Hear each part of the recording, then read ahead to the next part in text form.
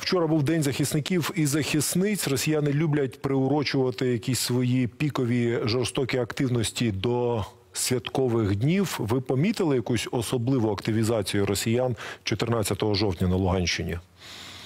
Ну от знаєте, на, на диво ні. Хоча готувались, е, так само розуміючи, що вони там схиблені на тих датах, е, якихось сакральних для себе. Ну а е, враховуючи те, що це було наше е, свято і велике свято, яким ми пишаємось, то чекали, звісно, або якихось контрнаступів величезних, або можливо там великих там і потужних щільних обстрілів і ракетами, і можливо артилерію, але такого, щоб чогось потужного не було. Видихаються чи просто їм не до цього зараз?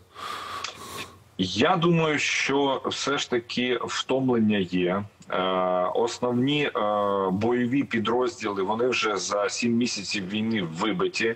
Е, Ті мобілізовані, які зараз приходять, ну це величезна кількість народу, але це ж недосвідчені військові. Тому єдине, що вони можуть робити, то це ну створювати просто постійні контратаки, намагатись, щоб наші військові втомились. А зробити якусь якийсь прорив величезний по лінії фронту ні, на це вони не спроможні, тому що ще раз говорю, це не злагоджені бойові підрозділи.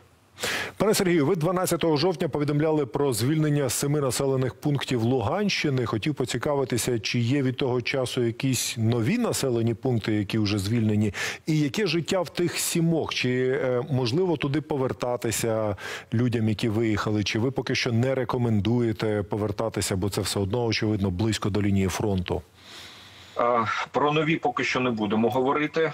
А, Дочекаємось, вже, коли генштаб е, дозволить це е, казати. А з приводу тих, ем, які вже звільнені і офіційно вже названі, то повертатись туди поки що на жаль не можна, тому що е, там повинна пройти три хвилі певні, тобто звільнення, потім зачистка, а потім розмінування ще, тому що хтось десь залишається і в лісах, і по приватних будинках, хто не встиг встиг е, е, ну, десь е, втікнути з цієї території.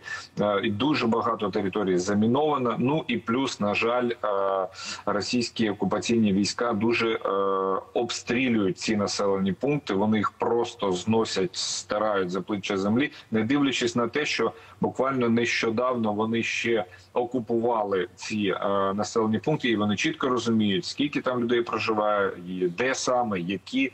Ну от е, буквально вчора в одному з сіл е, повністю розбили е, школу. Ну, хоча там е, вона не була придатна для проживання або знаходження навіть військових, все одно от принципово вони розбили. Вони зараз гатять по всім більш-менш великим будинкам. Будівлям адміністративним чи ще якимось для того, щоб унеможливити просто розташування там наших військових. А яка ситуація за вашими даними на тимчасово окупованих територіях Луганщини? Бо з Херсона е, е, російські оці гауляйтери закликають евакуюватися людей потроху. А що на Луганщині? Ну на Луганщині вони закликають е, навіть не закликають. Ні, не так. Е, Вони змушують виїжджати е, людей з такої першої лінії біля фронту в тих населених пунктах, які от перші до фронту знаходяться, але не для того, щоб зберегти життя людей, а заради того, щоб просто не було можливості десь місцевим допомагати збройним силам України, підказувати місце заходження, розташування складів, казарм чи е, командних центрів.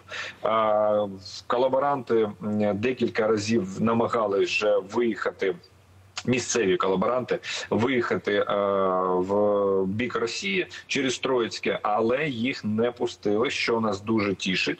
Їх розвернули і сказали, що їдьте, захищайте свою ЛНР. Ну а що стосується от великих міст наших, там де проходила активна фаза бойових дій, то там ситуація дуже важка, саме з підготовкою до опалювального періоду. Е, там просто його фізично не можемо провести. Дякую, пане Сергію, що знайшли час для нашого ефіру.